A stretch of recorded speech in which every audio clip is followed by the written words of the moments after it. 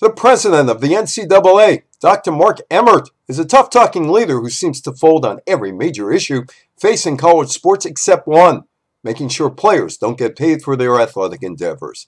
That apparently is where the buck stops for Dr. Emmert and his bosses, the college and university chancellors, presidents, and trustees.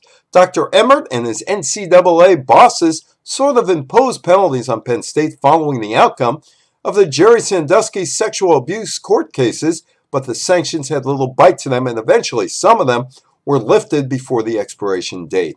The NCAA was noticeably AWOL from the Baylor sexual abuse allegations. Dr. Emmert and his NCAA bosses have a significant problem at Michigan State University.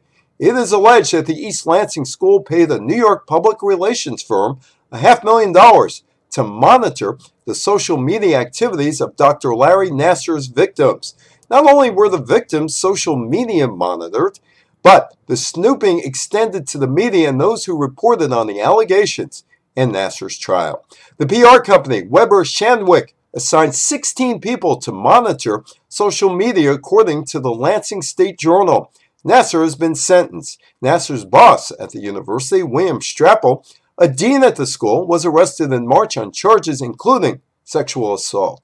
Michigan state officials pay the firm to spy on victims and a list of reporters. Very strange. The question of imposing sanctions on the Michigan State University sports program will come up.